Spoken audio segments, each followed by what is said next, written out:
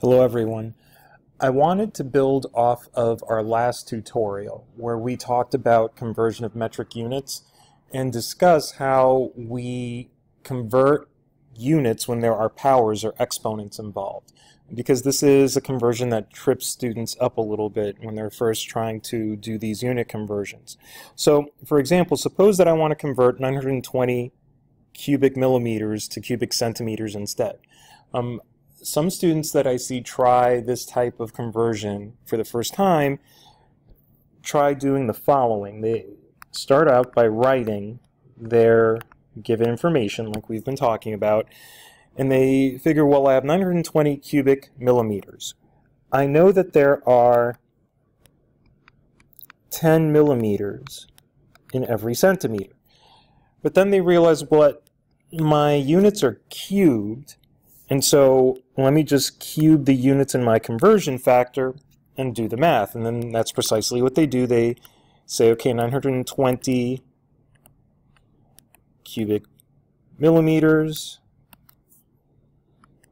divided by 10 cubic millimeters times 1 centimeter cubed. Our units cancel. And they end up with 92 cubic centimeters. The problem, unfortunately, is that this is wrong. All right, and I'll explain why it's wrong in a minute. I want you to consider the following. All right, let's pretend we have a cube. Okay, now this cube has sides that each measure one centimeter.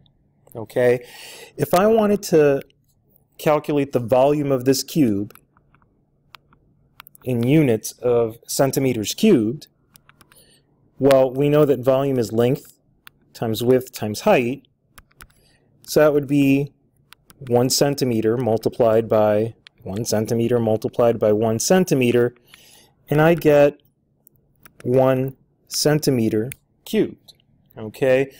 But suppose that I want to calculate the volume of the same cube but now I want to express it in units of millimeters cubed.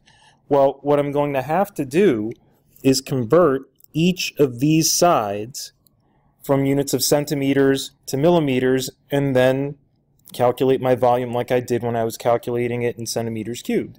Well, if we do that conversion, we know that for every one centimeter, there are 10 millimeters. So that means that each side of the cube is 10 millimeters long.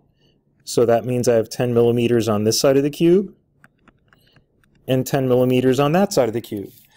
And so these millimeter quantities are what I would have to multiply together to get the volume expressed in units of millimeters cubed. And so that would be 10 millimeters times 10 millimeters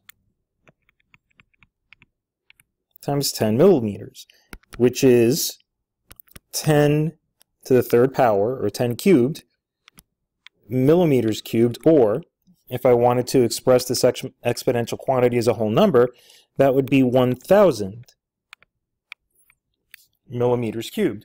So that means that this volume of 1 centimeter cubed and 1,000 millimeters cubed have to equal each other because we're still talking about this same cube. And so that means that 1 cubic centimeter is actually equal to 1,000 cubic millimeters. Or, if I take that back to exponential notation, 1 centimeter cubed is equal to 10 to the third millimeters cubed. In other words, what I had to do is for me to convert a volume that was in units of centimeters cubed and convert it to millimeters cubed, I had to cube both the 1, you can think of this as cubing 1, so 1 cubed centimeters cubed, but we know that 1 cubed is still 1. That's going to be equal to 10 cubed millimeters cubed, or 1,000 millimeters cubed. So applying what we just learned here, back to the conversion I gave you guys to start the slide, if I want to convert 920 millimeters cubed then basically it's true that there are 10 millimeters in one centimeter, but if I'm going to cube the units, I have to cube the numbers that go with them as well. Then my units will cancel, and basically this will be 920 divided by 10 to the third or 1,000, right? And that's going to give me an answer in centimeters cubed. Well, 920 divided by 1,000 is 0.920 centimeters cubed. So this would also apply if our metric units were squared. I'd have to square both of the numbers associated with the conversion factor just like we had to cube the numbers associated with these cubic units that we were converting this time around.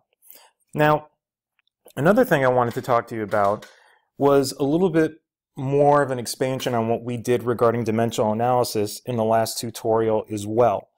A lot of unit conversions aren't necessarily accomplished with one single conversion factor when we do dimensional analysis.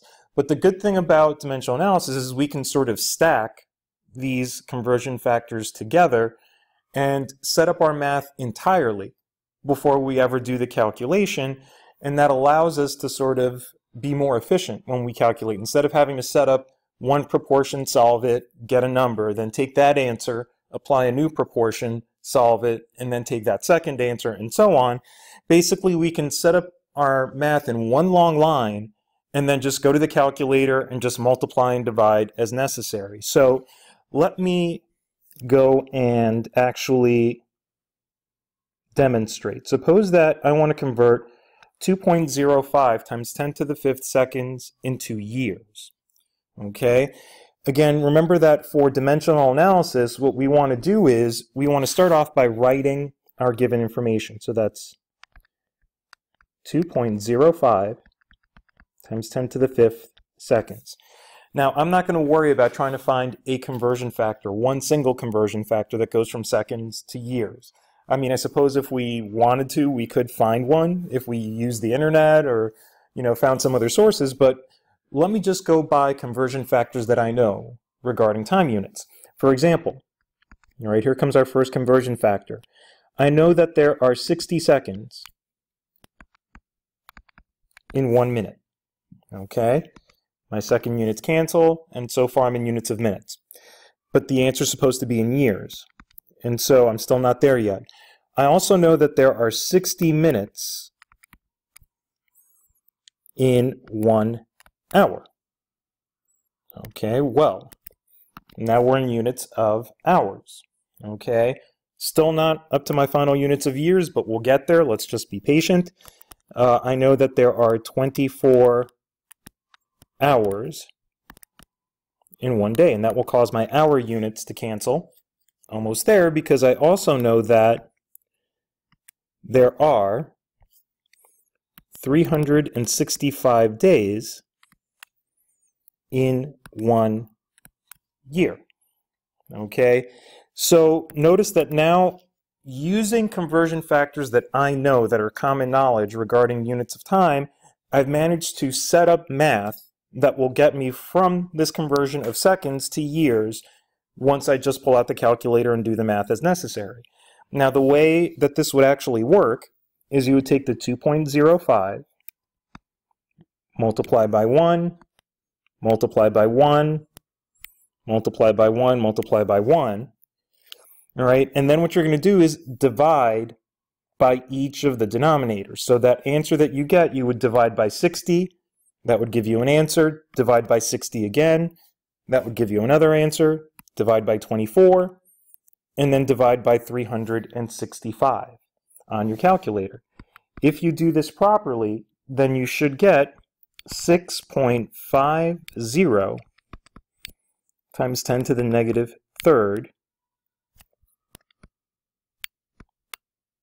of a year. All right, or if we wanted to express this as a decimal, that would be 0 0.0065 of a year.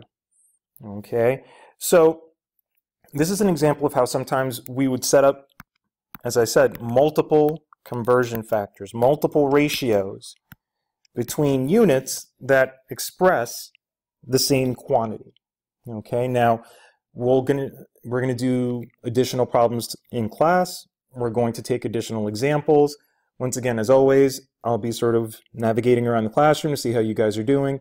If you have questions about this, then email tonight, or if you want, speak to me tomorrow when we get into class, and we'll clear up those questions and make sure that you guys are okay with this. All right, so have a good night, and I will see you guys.